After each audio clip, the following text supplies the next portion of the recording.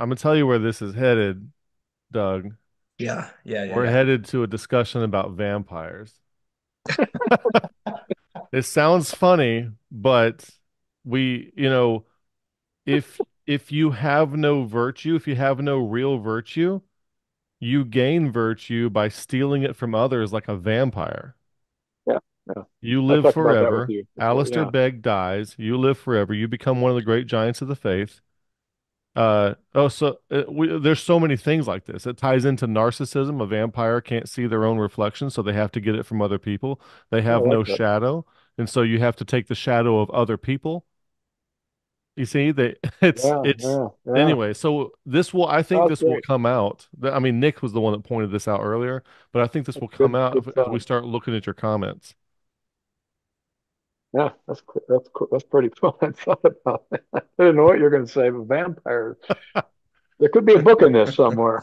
Well, well, it's yeah, maybe mythopoetically, it's almost like the vampire was developed as a satire of the of these kinds of people who are doing yeah, this to yeah. Alistair Begg. We call it Yeah. vampire theology. Yeah, Yeah, there we go. So Yeah, projection itself is not a inherently evil or malevolent phenomenon. Correct. However, when you said that they will project their shadow, Mhm. they will empty their shadow onto other people, that is um that's a whole nother phenomenon in itself where it's a denial of responsibility for who you are you know um it's it's all of the things that you've already pre-condemned about yourself and you don't have the balls or the strength or the uh the the the virtue to be able to actually contend with those things within yourself. So you just kind of cast it off to somebody who who's the the easiest uh, object in front of you. And that as far as i'm concerned is a sign of great great cowardice. And um you know because not only are you afraid of somebody like Alistair Begg you know uh corrupting your calvinism and everything what it means if you're if you're projecting your shadow onto him is that you're actually afraid of yourself When you think of a vampire casting his shadow, or however you want to look at that from that psychological point of view, it's the shedding of blood that allows him to do this. Uh, and yeah, and he can shed the blood and drink the blood.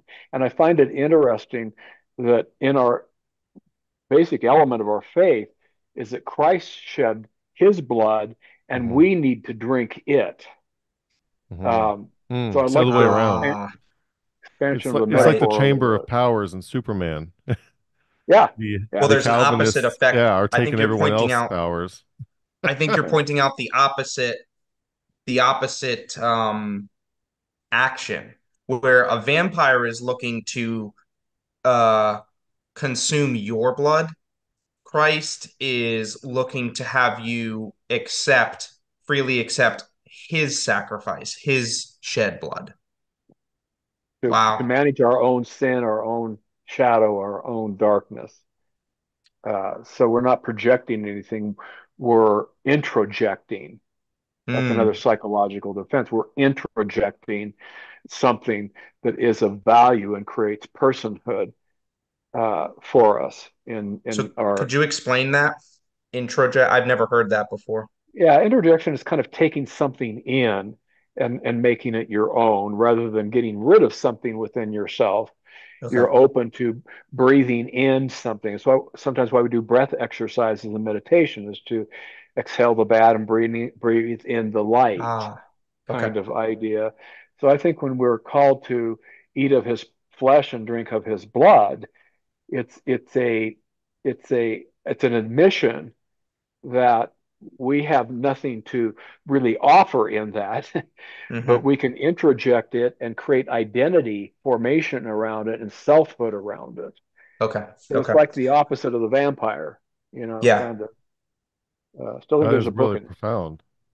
And a, a vampire is uh, like a simulacrum of a resurrection too. Oh, sim that's right. it's a s- yeah, it's yeah. a instead of order, disorder, reorder, it's order, disorder, murderer. you know, Yeah, yeah, yeah. order, That's disorder, great. the devil, something You like guys are that. really onto Huh. something with this vampire thing. I really like Well, it's, Yeah. it's interesting how these mythopoetic themes uh, play out in patterns, and you just really can't get away from them. It's like they're there for a reason. Yeah. They've existed for Yeah. hundreds of years for a reason. And Yeah. with vampires, you have victims. With Christ, you have grace and uh, Yeah. reaching out, and uh, it's just interesting to. I'm going to be thinking about this for a long Well, time. also like Christ, uh, in in Romans eight, the whole point of Romans eight is that uh, the followers of Christ get glorified. Um, in Calvinism, Ah, God gets glorified at the expense of anyone who would otherwise follow him because they can't. And he gets Yeah. glory at their destruction, just like a vampire. right. And So so, the if you're a vampire also, Calvinist leader, you do the same thing.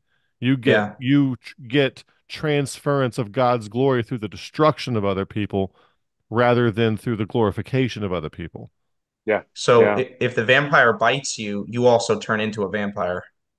Yeah, that's, Where that's great. I didn't think along the that. lines of the Romans eight uh, thing that you will be conformed into His image and get a Oh, uh, wow. uh, a, a, a- Yeah. and a, a, Yeah, a redeemed body.